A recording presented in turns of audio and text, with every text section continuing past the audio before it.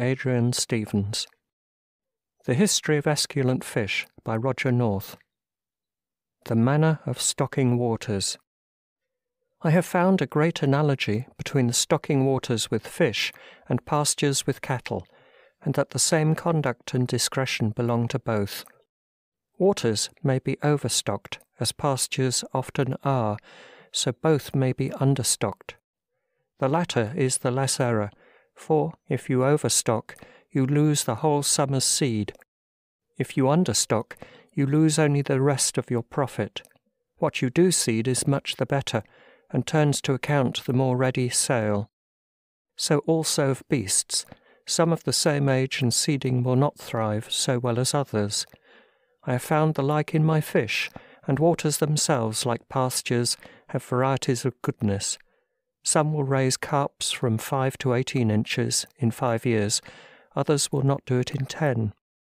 This is most sensible between your great waters made upon a fall and the small standing waters, which have more inconveniences and are liable to frosts and other casualties more than the others are.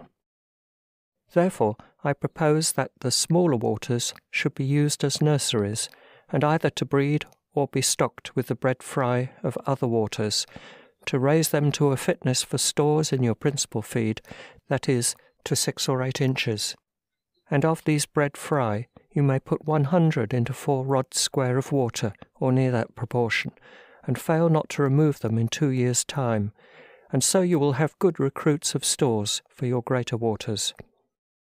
And thus the many thousands of bred fish that you will have upon the draining your great waters, which many are apt to slight, may be sent several ways to the waters about that and your neighbours' grounds, and there fed up like chickens, and in time turn to great profit, as I shall show.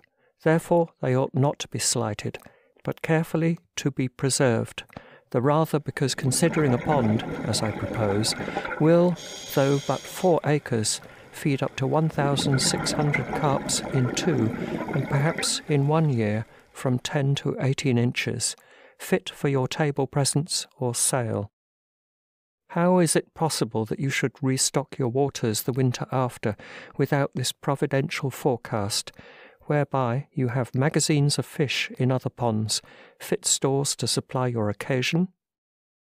Now, as for your great and principal waters, it is hard to assign a certain proportion for the stock, but perusing the methods I propose, you will soon come to the knowledge what stock the waters will carry for laying a pond dry every year, you will see the fish well fed, or else thin and lean, and accordingly you judge whether the stock was too little or too much for the water.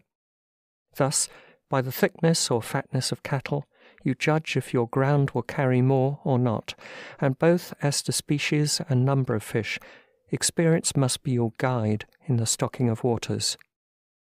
However, to save loss of time, which you must sustain by making your own experience, I will give the best directions I can, for the first entry upon your